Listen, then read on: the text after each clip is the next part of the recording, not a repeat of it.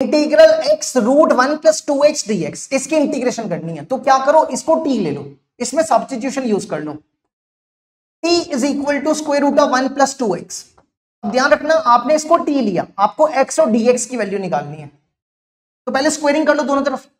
Squaring both side तो ये बनेगा t square is equal to one plus two x अब इसको डिफ्रेंशिएट करो। तो two t d t by d x with respect to x कर रहे हैं। वन की ज़ीरो, टू एक्स की टू। ये टू कैंसल ये बनेगा, ये टू हो जाएगा। वन की ज़ीरो, टू एक्स की टू हो जाएगी। Dx को यहाँ ले जाओ। T d t equal to d x अब आपको x भी चाहिए। X की वैल्यू यहाँ से निकाल लो तो हो जाएगा t square minus one by two ये यहाँ पे रिप्लेस करो। सबसे पहले देखो एक्स की जगह। T square minus one by two फिर हमने रूट वाले को टी लिया। और dx की जगह टी डी टी अब इन सबको मल्टीप्लाई करो। ये वन बाई टू बाहर देखो, ये टी स्क्वायर बनेगा। T square into t square t four t square को इससे मल्टीप्लाई करो।